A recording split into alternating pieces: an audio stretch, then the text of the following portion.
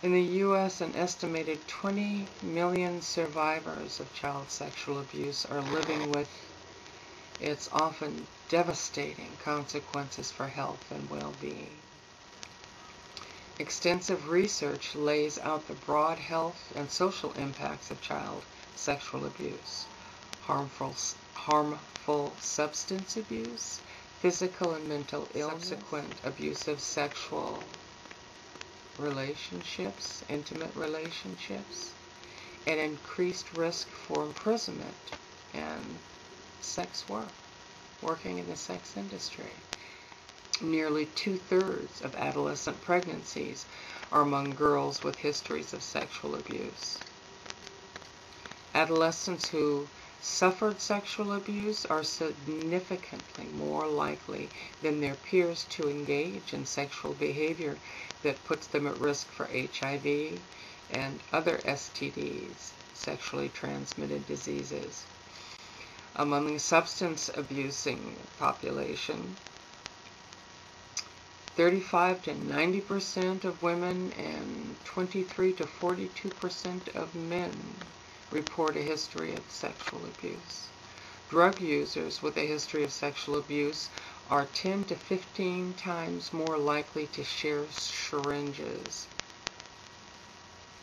Hmm. Wow. Drug users with a history of sexual abuse are 10 to 15 times more likely to share syringes than their counterparts without histories of child sexual abuse. In 1995, the Giarretto Institute study revealed that one in three sexually abused children become offenders by their teens and adult years, and many more become non-protective parents of children who will be abused. Many more become non-protective parents of children who are then abused. Did everybody catch that one? I emphasize that because it's not only important to get help if you are an adult survivor of childhood sexual abuse for yourself, get help for yourself, but also get help for your children. How can you protect a child when you don't know how, when that was never modeled to you? It's like there's a blind spot that I've even seen. This, this blind spot where they without knowing, actually put their children in situations that put them at risk. The same system of denial that their parents had around their abuse, that blind spot is passed on. It's and it's and it's just so incredibly sad to see another generation abused because the parent did not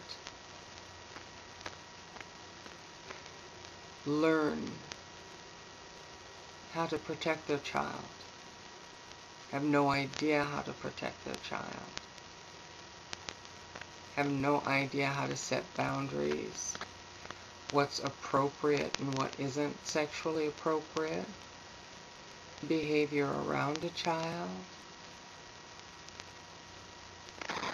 what's appropriate and what is not appropriate to expose them to.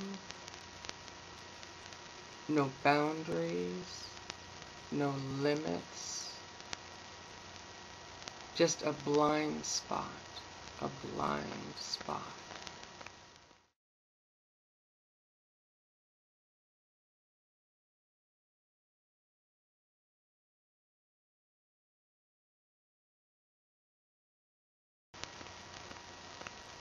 So the cycle of sexual violence and its staggering cost to community health continues generation to generation to generation to generation.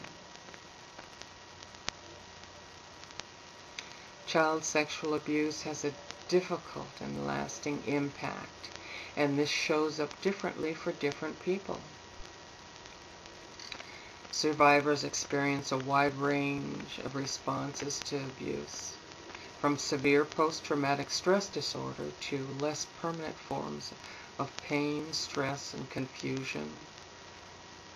Even distress in being touched or having our bodies hold memories, they say, of how we were touched. So there are even certain so issues can come up for people who are just, you know, a hand on a thigh, on a shoulder. Just bring that, re-stimulates the whole abuse. Yeah.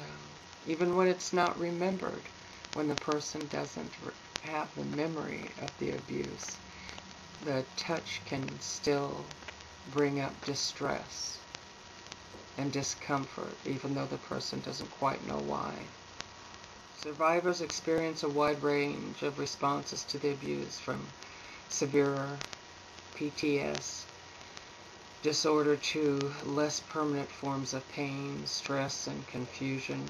More specifically, survivors and researchers see struggles including disassociation or checking out, and that's what I mean, that checking out. That checking out can cost your child. It can cause them to then become victims because you're checked out. Feeling isolated, deeply alone, or hypervigilance and difficult and a difficulty or fear of intimacy and closeness with others. Survivors often experience distrust of themselves and others, or an over-trusting shame, anger, grief, betrayal, a sense of losing themselves or being tainted, and low self-esteem.